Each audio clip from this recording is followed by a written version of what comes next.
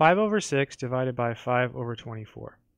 So we have a division problem. So whenever you have a division problem, the first step is to change the division into multiplication by the reciprocal. So we'll start by writing down the 5 over 6, and then change our division to times, and then the reciprocal of this just basically means that we flip this fraction. So this is really 24 over 5. Okay, so we change the division to multiplication by the reciprocal.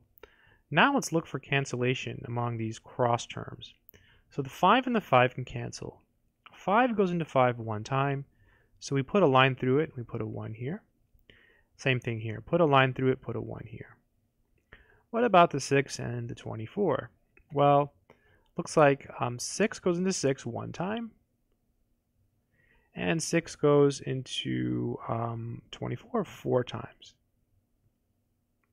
Wow, lots of cancellation. Okay, now we just multiply straight across. 1 times 4 is equal to 4 over, and 1 times 1 is equal to 1. So we have 4 over 1, and that's the same thing as 4. And that should be the final answer. I hope this video has been helpful.